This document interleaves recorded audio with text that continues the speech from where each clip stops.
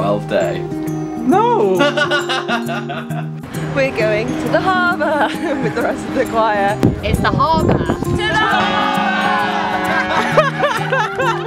we are at the um, old State House in Boston. There are protesters gathered in this square um, to protest against English taxes and the British Army panicked and shot on the crowd and killed many people. We are in Quincy Market, which has food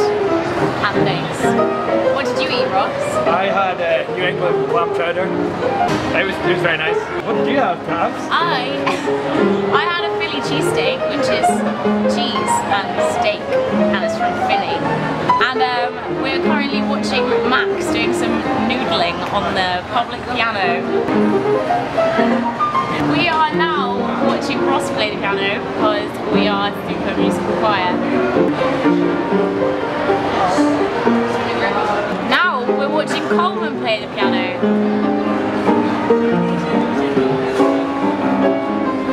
And now we're watching me play the piano. Ben and I have walked the Freedom Trail today in Boston. Uh, we've made it to the end. It's been about five and a half miles. There have been quite a lot of hills. Um, but we, we feel very free and also very hot. We just finished doing our concert at Old South Church um, in Boston, uh, which was good.